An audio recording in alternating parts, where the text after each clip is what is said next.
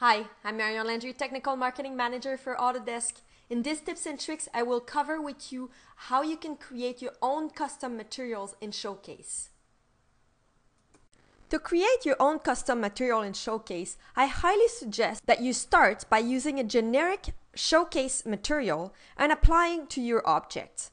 And we'll review the properties of this specific material together. So now I've just applied this generic showcase material to all of my object in my scene. And let's open the material properties and review all of the preset. So first of all, you can rename your material. So pretty straightforward. Now, before you start changing any of the presets, it's important that you have all the objects that are using this material selected. So when you start adjusting the preset, it will be adjusted on the material that's used in your scene instead of duplicating the materials. So the next preset over is color. So use a color. So if I click in a color swatch, obviously I'll be able to choose any color I want from the color wheel and I can go different intensity, I can enter RGB level if I want, and basically I have direct feedback in the viewport. Then the other thing you can do is use an image file.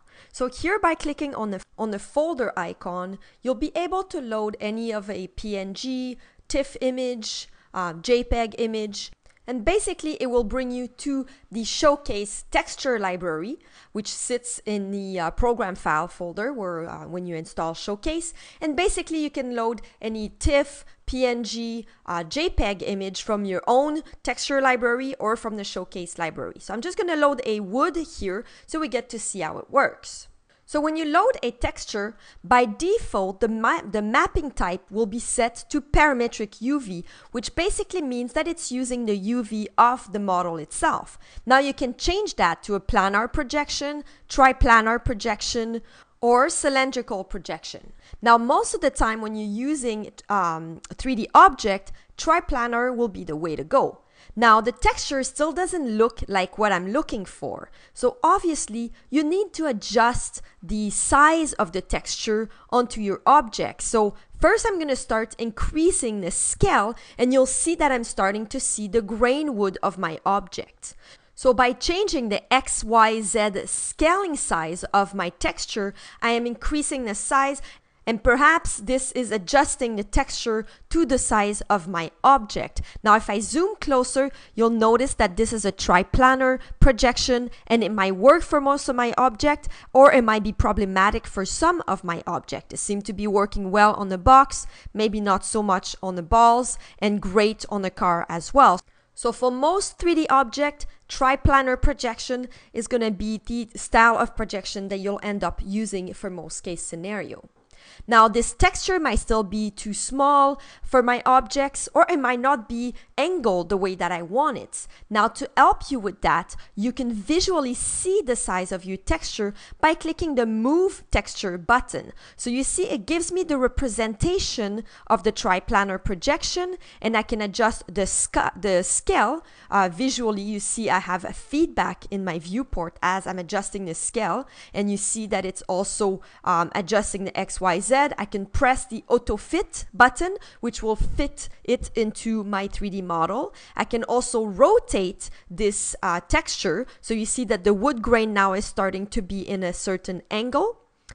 Now you notice that I've changed only the uh, UV projection of my box. So now I have duplicated my material and only adjust the UV mapping of my box itself. But I can change the ball UV mapping separately that will duplicate my material, but sometimes that's something you have to do in order to have different uh, projection map for each of the objects you require. So they all have the same material, but they have different UV map and therefore it's creating multiple materials. So now for the car, perhaps this texture needs to be bigger and have a bigger wood grain um, and adjust it differently. So I can go ahead and start moving my triplanar projection, adjust the scale, rotate it and position it where I want it onto uh, my model. So using the uh, move uh, projection plane will allow you to adjust your the texture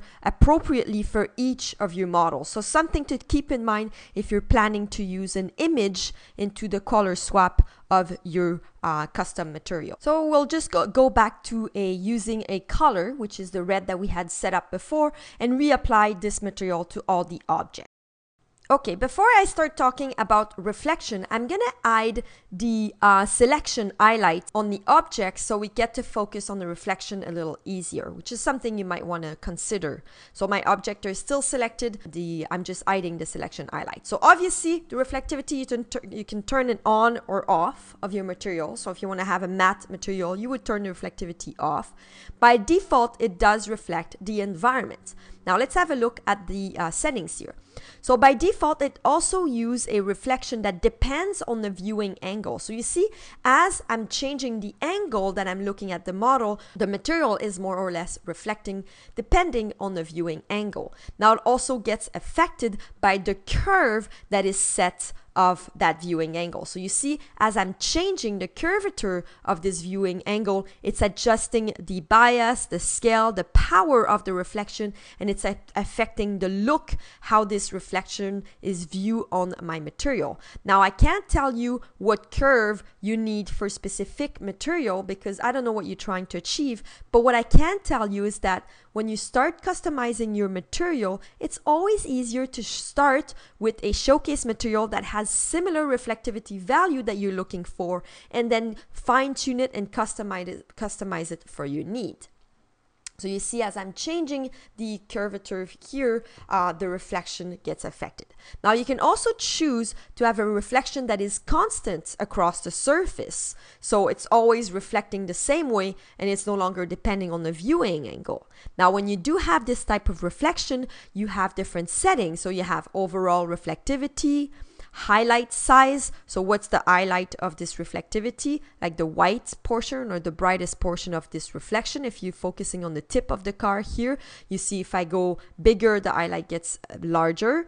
And if I go smaller, then the highlight is uh, smaller, obviously. And then you can uh, change the transition of this highlight. Is it more a gradient transition or is it more of a sharp um, a highlight that you're looking for? So let's go back to a reflection that is uh, depending on the viewing angle. Now you also have highlight size and highlight transition setting for this type of reflection as well that we just review. Now the next setting over is reflection type. By default is set to non-metallic, do not tint reflection. You can change that to metallic, use a material color to tint the reflection. So the material color is red in our case, and this is how it's going to tint the reflection. Now, if I change the material color, it will tint the reflection according to the color of the material. Now, the other option over is to use a custom color to tint the reflection. Then I will open the slot that will allow you to add a custom color to tint that reflection, which is something you might want to look into. So we'll keep it to non-metallic for now. Now the next setting is absorb reflection. Now I'm going to go closer and really focus here on the environment that's being reflected into your material. Now, as I am adjusting this setting, you see that the reflection gets absorbed by the material. It somewhat fades away and the material is more dominant than the reflection itself. So it absorbs the reflection within the material. Uh, now, the next setting that is new to 2013 is the fact that you can enable blurred reflection and refraction. Now, if you focus on the reflection itself, you see crane, you see a building that belongs to the reflection. Now, if I enable the blur reflection and I slowly adjust the setting, you'll see that it's blurring the edge of the reflection to give you somewhat of a uh, satin finish. So it's blurring this reflection. It's still reflective. If I pick a different angle here and adjust the reflection, it's still reflective, but the reflection is now blurred. So it's got a different finish on that reflection. So this is a new setting. If we focus on the ball, sometimes it's easier to understand. I'm going to reduce the blurred reflection here slowly and you see that the reflection becomes more crisp and more sharp, somewhat like a mirror type of reflection. Whereas I increase the blur, then it's becoming more of a satin finish. Now, keep in mind that all of these settings will uh, um, be available if you choose to use a, a reflection map.